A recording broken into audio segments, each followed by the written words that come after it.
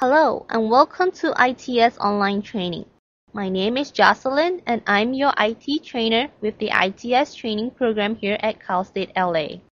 Before we start the PowerPoint 2007 Crash Course online training, let us find out what PowerPoint is. So, what exactly is PowerPoint? Well, Microsoft Office PowerPoint, one of the most popular presentation programs in use today, is a presentation graphics program that produces slideshows containing text, graphics, and charts. Also, it combines data, illustrations, animations, special effects, and time sequences to convey points in an informative and convincing way. Now that we get a little bit of idea what PowerPoint is, here are the goals for today's training. The purpose of this online training is to assist learners to become familiar with the PowerPoint application as well as develop effective presentational skills.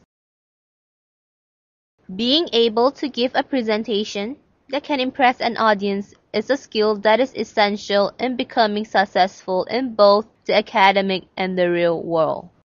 The training starts from basic instructions in creating a PowerPoint presentation and follows with practical methods to help presenters become effective PowerPoint users. Through role play, attendants get first-hand experience of the difference between an ineffective and effective presentation.